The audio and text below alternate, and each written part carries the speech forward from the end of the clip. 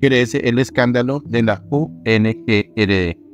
Dos asesoras ministeriales son señaladas de negociar con congresistas a cambio de su apoyo a las reformas del gobierno. Olmedo López y Sneider Pinilla ampliarían su matriz de colaboración para buscar inmunidad judicial y señalarían a las dos funcionarias junto con más congresistas. El escándalo de corrupción en la Unidad Nacional de Gestión de Riesgo por la compra de 40 carrotanques por 46.800 millones de pesos para llevar agua potable a las comunidades vulnerables de La Guajira, pero que resultaron obsoletos e inservibles, podría crecer todavía más. En el centro de la polémica está Olmedo López, ex director de la entidad, y el ex subdirector de desastres, Sneider Pinilla, que con el fin de buscar inmunidad judicial estarían dispuestos a prender el ventilador y acusar a todos los que estuvieron implicados en el millonario desfalco al Estado, incluyendo a importantes fichas del gobierno de Gustavo Petro.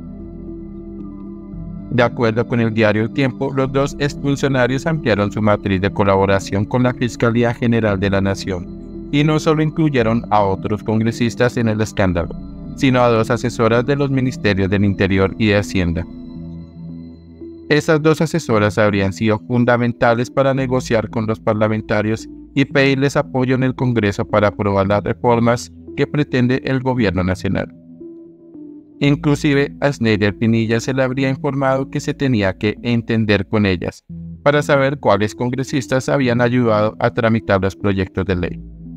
Por eso no se descarta que ambas funcionarias sean llamadas próximamente a declarar.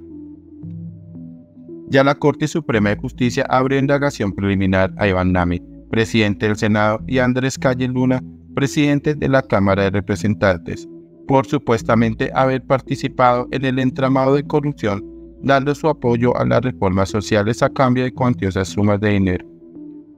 En medio de las investigaciones a los dos congresistas, el alto tribunal llamó a declarar al ministro del Interior, Luis Fernando Velasco, 31 de mayo, a Carlos Ramón González, director de la Dirección Nacional de Inteligencia, 20 de mayo, y a Sandra Ortiz, ex consejera para las regiones del gobierno, 14 de junio.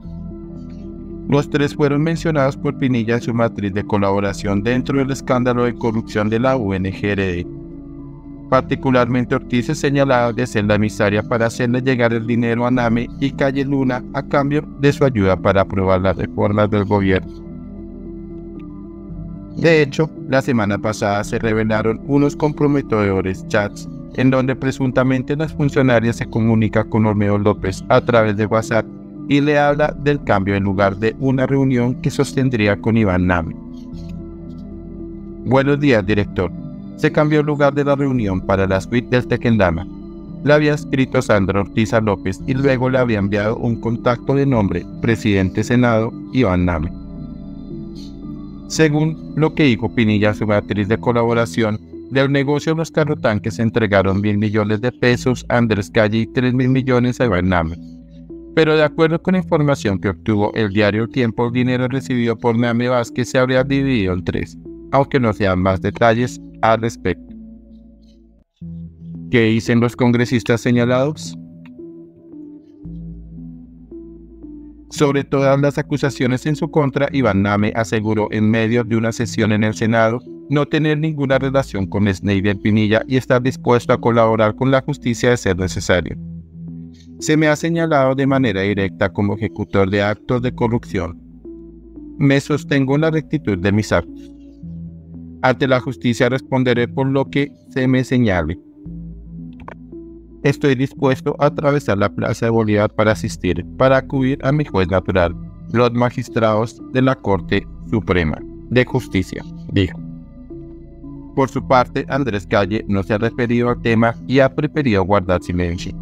Los únicos que han dado declaraciones son sus abogados que han manifestado que hay tranquilidad sobre el tema.